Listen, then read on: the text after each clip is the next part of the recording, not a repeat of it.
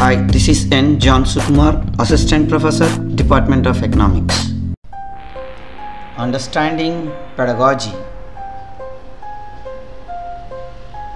The word pedagogy means to lead the student or to lead the child. What pedagogy studies about? It studies about teaching methods. For more information, subscribe my channel. Ring the bell for latest updates.